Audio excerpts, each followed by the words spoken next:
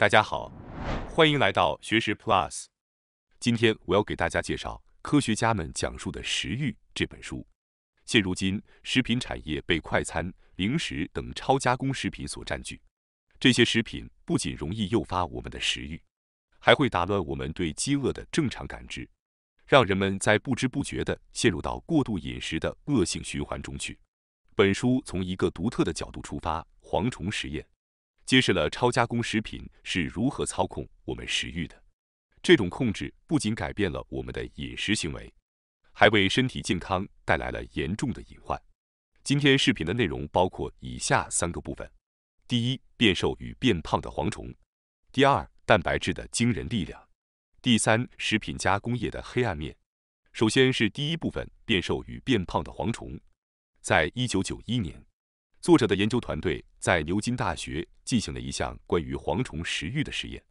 该实验试图回答两个核心问题：一、动物是基于哪些标准选择食物的；二、当无法获得理想食物时，动物会选择什么样的替代方案？研究团队为实验的蝗虫准备了二十五种不同配方的饲料，每种饲料的蛋白质和碳水化合物的比例各不相同。这些饲料从类似高蛋白低碳水如肉类饮食到低蛋白高碳水如大米不等。但外观完全一致，以消除视觉上的差异。在实验的过程中，蝗虫在蜕皮为成虫之前，可以自由选择其中的一种饲料进行进食。研究人员通过测量饲料的重量变化来计算蝗虫的食物摄取量，并分析其排泄物，以了解营养的消化吸收情况。该实验每天在二百只蝗虫身上重复，并详细记录了蜕皮时间、体重变化及脂肪组织的增减。研究团队绘制了一个图表，纵轴为碳水化合物摄取量，横轴为蛋白质摄取量。有趣的是，所有蝗虫的摄食点几乎整齐地排列在一条直线上。这个结果一度让作者怀疑是否计算出错了。研究进一步确定了最有利于蝗虫生长和存活的蛋白质与碳水化合物的比例。实验结果显示，吃高碳水化合物饲料的蝗虫。为了满足身体对蛋白质的需求，它们必须不断进食，导致体型变胖，并延长了蜕皮的时间。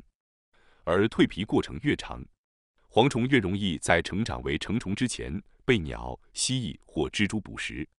吃高蛋白低碳水饲料的蝗虫，它们虽然迅速满足了蛋白质需求，但由于碳水化合物的不足，能量不够，导致体型消瘦、生长缓慢。所以无法顺利蜕皮为成虫。最终，这项实验揭示了一个重要结论：在动物的饮食选择中，蛋白质的优先级远高于碳水化合物。这不仅对蝗虫适用，对其他生物乃至人类也具有借鉴的意义。蛋白质作为关键的营养素，在食欲管理和体重控制中起到了不可替代的作用。接下来是第二部分：蛋白质的惊人力量。在第一部分的实验中，每只蝗虫只能食用一种单一配比的食物，因此无法自主调整蛋白质和碳水化合物的比例。那么，如果蝗虫可以自由选择多种食物的组合，将会发生什么呢？为解答这个问题，牛津大学的保罗·钱伯斯设计了一项新实验。他为每只蝗虫提供了两种不同营养比例的食物，任其自由组合选择。令人惊讶的是。不论组合方式如何，蝗虫总能摄入相同的蛋白质与碳水化合物比例。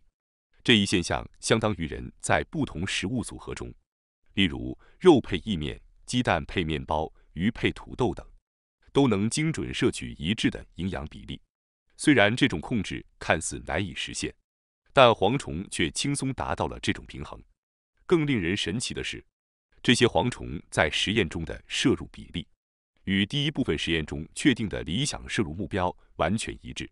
换句话说，蝗虫似乎天生就知道什么样的营养搭配最有利于生长和生存，并且能够自主实现这一目标。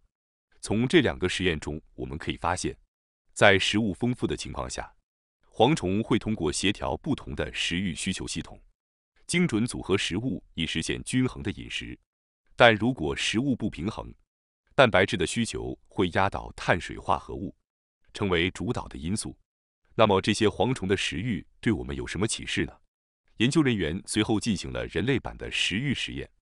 研究团队邀请了十名大学生，将他们带到瑞士阿尔卑斯山中的一间山间小屋，完全与外界隔绝。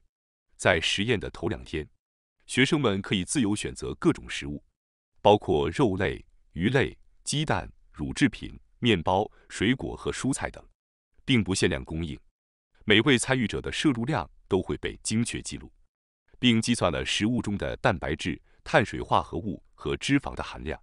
接下来的两天，学生们被分为两组，并对其食物选择加以限制。第一组只能食用高蛋白食物，如肉类、鱼类、鸡蛋、少量低脂乳制品和蔬菜水果。第二组只能食用高碳水化合物和高脂肪食物，如面包。意面、谷物和甜点，在这一阶段内，两组学生都可以不限量进食，但每种食物的热量与营养成分都会被详细记录。随后，实验进入最后两天，学生们回归第一阶段的自助餐饮食模式。实验结果如下：在第一阶段的自由选择中，学生们摄入的总热量中，有约百分之十八来自于蛋白质，这一比例。符合全球饮食研究的标准，即蛋白质通常占总热量的百分之十五到百分之二十。第二阶段的限制饮食则揭示了更加有趣的现象：摄入高碳水、高脂肪的组，为了满足身体对蛋白质的需求，他们比自由选择阶段多摄入了百分之三十五的总热量；而摄入高蛋白的组，由于蛋白质需求得到了快速满足，他们的总热量的摄入。减少了百分之三十八，这表明，不论食物组合如何变化，人类和蝗虫一样，都会优先满足蛋白质的需求。实验结果揭示了一个关键结论：蛋白质在食欲系统中占据主导的地位。当缺乏蛋白质时，即便有大量高热量食物，人们也会过度摄取碳水化合物和脂肪来满足蛋白质的需求。这正是为什么在高碳水化合物和高脂肪的饮食环境中，人们容易发胖的原因。相反，如果只能选择高蛋白食物，人们的总热量摄入会下降，甚至可能会导致体重减少。假设身体活动量保持不变，高碳水、高脂肪饮食容易导致体重的增加，而高蛋白饮食则会促使体重的下降。无论环境如何变化。摄取足够的蛋白质始终是食欲系统的首要目标，这也解释了蛋白质为何在调控人类食欲中展现出如此强大的力量。最后是第三部分：食品加工业的黑暗面。在第二部分中，我们了解到，当饮食中的蛋白质摄入不足时，人们会倾向于摄入更多的碳水化合物和脂肪，从而导致了肥胖。相反，充足的蛋白质会自然地抑制食欲，帮助减重。这引发了一个令人不安的假设：食品加工商是否故意降低食品中的蛋白质含量，以诱导消费者无限制地食用其产品呢？回顾第一部分的蝗虫实验，我们发现蝗虫在摄入低蛋白饮食时会暴饮暴食，而在高蛋白饮食条件下，摄入量则会显著减少。这表明。通过调整饲料中的营养比例，不仅能控制蝗虫的进食量，还能影响它们的体重、活跃度以及行为。这种模式在人类的身上也同样成立。在第二部分的阿尔卑斯山实验中发现，人类在面临不同食物的组合时，会不自觉地调节摄入量，以满足身体对蛋白质的需求。这意味着，食品加工商有可能通过降低食品中的蛋白质比例。迫使消费者摄入更多的食物，从而增加销量和利润。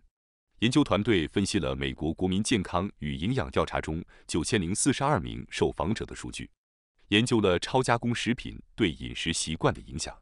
结果发现，当饮食中超加工食品占比较低时，蛋白质摄入量约占总热量的百分之十八点二；当超加工食品占比较高时，蛋白质比例降至约百分之十三点二。也就是说，增加加工食品的摄入会导致蛋白质摄入的减少，这与第一部分蝗虫实验中的现象如出一辙。此外，研究还表明，当加工食品较少时，总热量摄入也较少；加工食品增加时，总热量反而会上升。人类就像蝗虫一样，倾向于不断进食，直到满足身体对蛋白质的需求。然而，加工食品的低蛋白配方让人们难以达到这个目标，进而导致了暴饮暴食与肥胖问题。蝗虫实验还揭示了纤维含量对进食量的调节作用。当饲料的食物纤维增加时，蝗虫需要摄入更多的食物才能满足营养需求。但当食物纤维过多时，消化系统的负担会增加，导致进食量减少。加工食品通常会去除天然纤维。这类似于苹果与苹果汁的差异，估计很少有人能一次吃完四个苹果，但喝掉四个苹果榨成的果汁却轻而易举。果汁缺乏食物纤维，能使食欲的刹车机制失效，让人们容易摄入过多的热量。此外，食品加工商降低蛋白质含量的一个重要原因是降低生产成本。研究团队通过分析美国和澳大利亚的一百零六种商品后发现。脂肪含量对价格的影响不大，而蛋白质的含量越高，价格越贵。